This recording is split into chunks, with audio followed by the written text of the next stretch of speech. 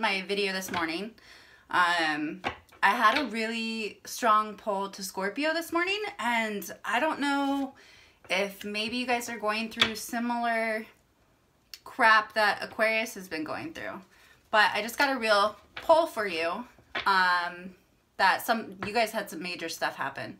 So I got to work.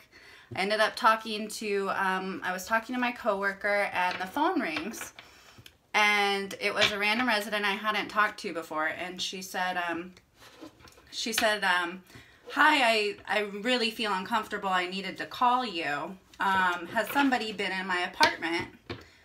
And she goes um, and the weird thing was I was talking with my coworker about, you know, spirits and things in my, my new video this morning and she's kind of like on the fence about it, which is whatever. But um, I was talking to her about it and she, this phone rings and this lady goes, I think my apartment's haunted. Which I just thought was really funny, just the context of what my and my coworker's conversation had been thus far. And so I said, well, you're calling the right person if it is haunted. Um, she goes, yeah, it's probably just my father, you know, no worries, hangs up on me. So I told Christina, my coworker, and she just thought it was really funny.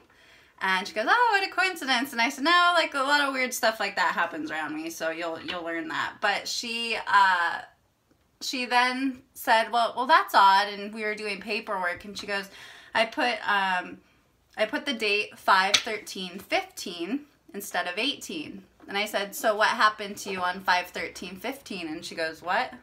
And she ends up thinking about it and realizes that her best friend, um, when in 2015, had passed away that day. Um, turns out that's why she doesn't really like her birthday because it's close to that date. Um, so I said, see, I, I told, like, I told you I do this professionally, right? And she says, she says, yeah, that's, that's really weird that, you know, you brought it up. Um, so we're talking about her friend. She's telling me the story of how he passed and, you know, how much it hurt her. And the phone rings again. This time when the phone rings, it is the uh, police department. Um, it's an officer on the phone. And he says, um, hi, one of your residents in apartment, yada, yada, has passed away. And I said, what? And they said, yeah, about an hour ago, this person passed away. We need their, um, you know, their birth information, stuff like that. Um, I get off the phone to go meet the officer, and me and my coworker, she's just staring at me, stunned. Um, and I said, I, I told you, like, weird stuff's gonna start happening if you're around me. So I just got death, death, death, death. And um, this morning when I was thinking about Scorpio, when I think about death or new beginnings or rebirths or new cycles, I think Scorpio. So I thought you guys definitely ran the day today and something serious is going on and I, I don't know what it is, but I felt a real pull towards towards um, seeing what's going on with Scorpio. And I know you guys are nosy anyway, so um, I thought I'd do a slight reading of just kind of like energy going around Scorpio right now. Um, just gonna pull a couple cards, kind of see um, where you guys are at. Um, I'm gonna pull the first card. Um, uh, top card is gonna be your overall energy. I'll show them to you because I don't have like a very big area right now. And just kind of see like, you know, what um, overall ending outcome we're looking at. Um, so let's see. So we have the King of Pentacles. That's a very good card actually. Um, this may be in the past. Um, we have your overall energy, which is the Eight of Pentacles. So you can see my cat cards. I think they're freaking hilarious. Um, just all these cats. We have the Chariot. That's a good one too. I actually really like this. This is similar to what's going on with Aquarius right now. We have the Three of Wands in reverse. Um, we also have the Queen of Wands reversed. Getting a very um, interesting vibe with those two. Um, King of Chalices reversed. And then Three of Pentacles reversed. This bottom line is completely different from the top line. Um, overall energy, the Hermit. Okay. So I'm getting a lot of uh, the King of Pentacles is um, obviously somebody who's very, very smart with their money.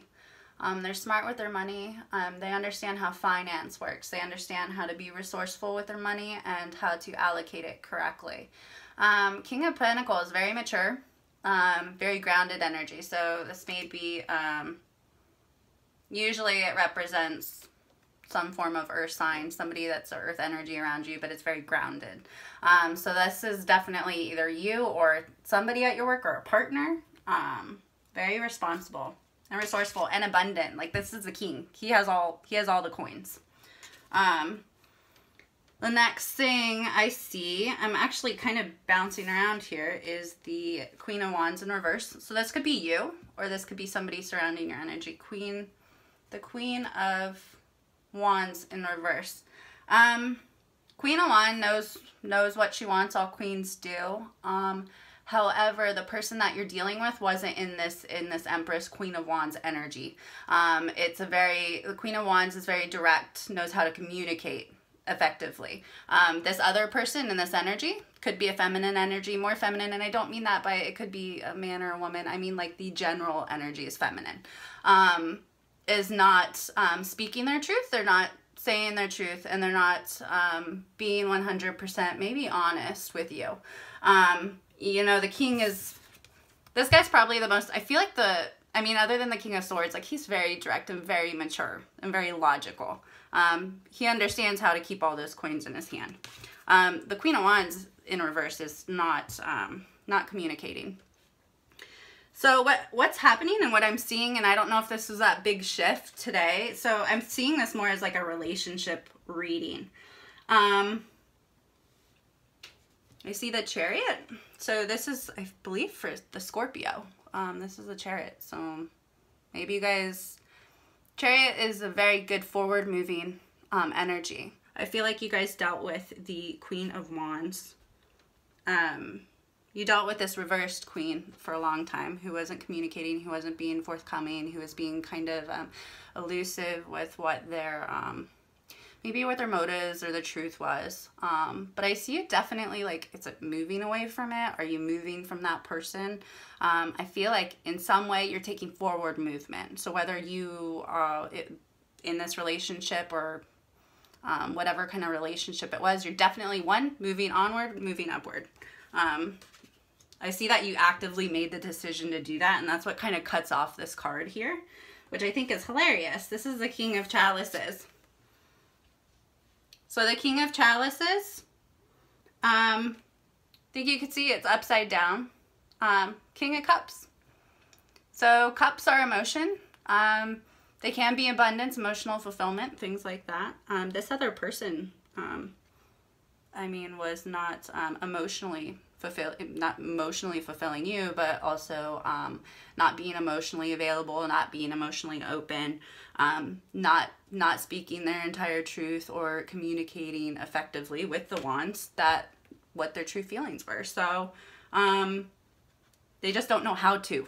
You're taking the opposite of a king here which i would say is almost a page but you're taking the opposite of a king.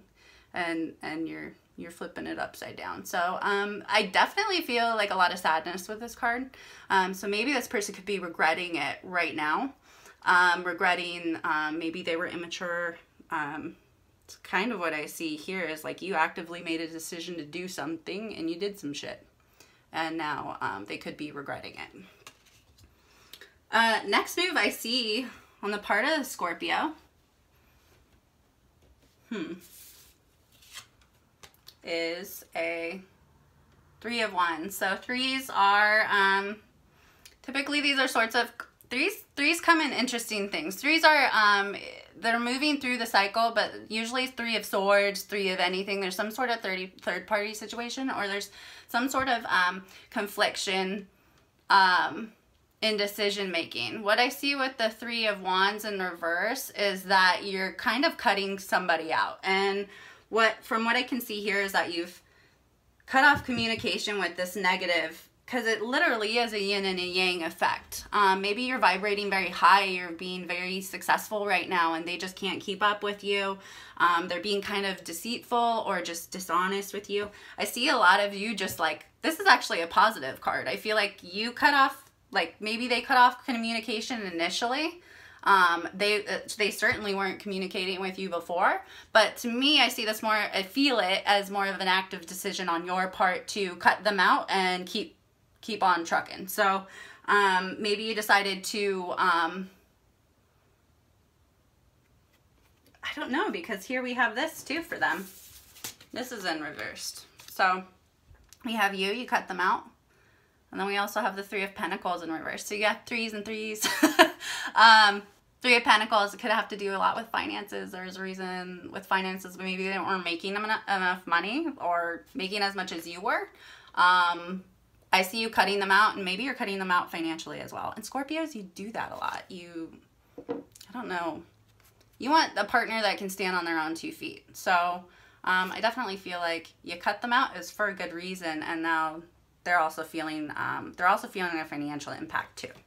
Um, I don't know if this just happened now or what it was. Um, I just see a lot of just complete yin yang polarity. I feel like um, I feel like this is definitely Scorpio's energy. Um, very positive. It's it's like a positive change, and I feel like I've I've gone through this exact same thing myself. Um, where they stand overall is the um, the Hermit. So it was actually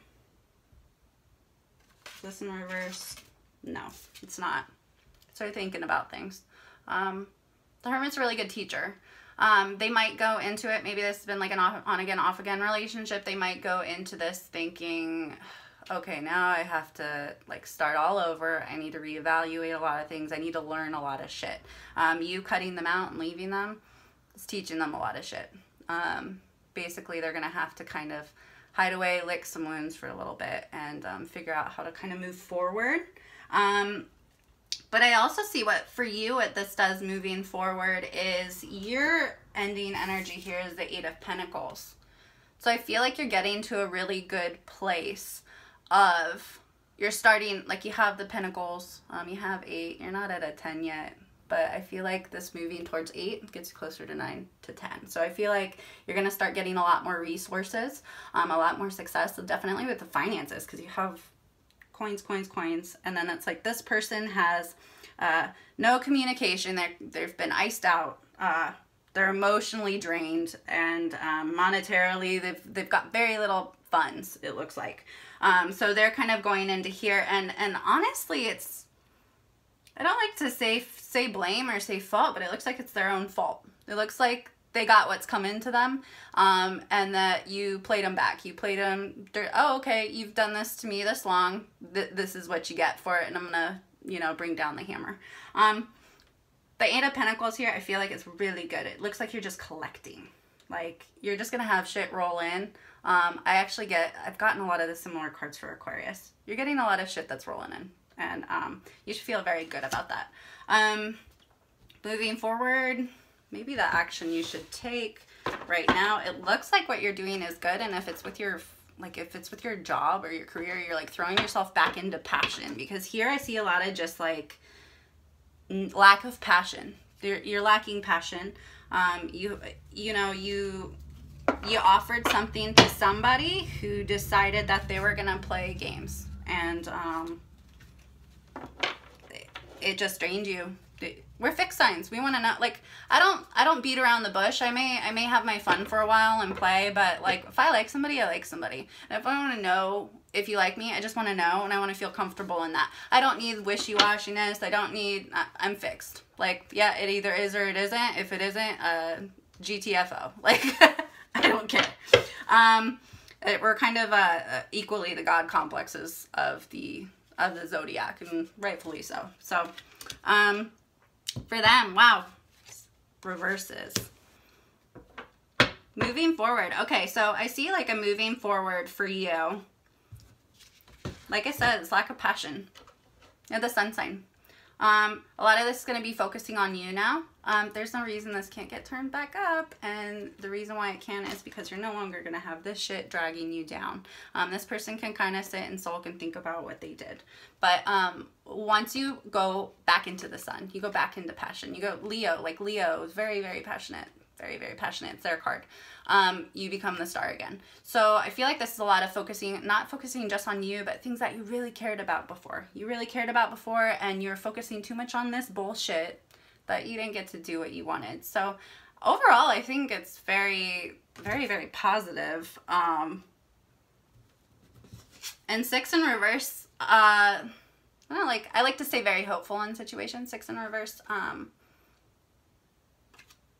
I don't know. This is up to them if they can change.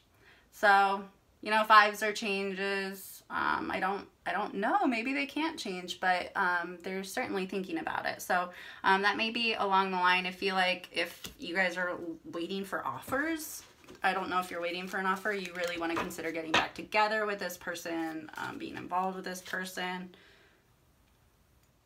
I feel like that for the offer card, maybe it's the devil's not a bad card. This is not a bad card.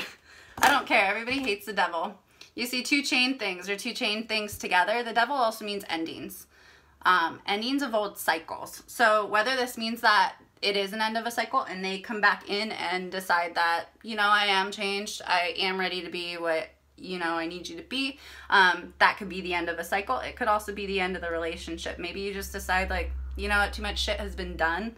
Um, I'm going to go ahead and walk away now and have my sun and have my eight of pentacles and have my king. And like it's just everything you know what i mean? It's just like moving on and moving up. So feel very good for you guys. Feel like something definitely crazy shifted happened today. But um i hope you have a great rest of the 13th um I know the moon in Scorpio really kind of knocked everybody around a little bit. So um, I hope that helped some of you. If it did, please leave me a comment or subscribe or share. Um, I just randomly felt to pull towards Scorpio. I have mad love for you guys. So um, yeah, you guys enjoy the rest of your Mother's Day. We'll talk soon. Bye.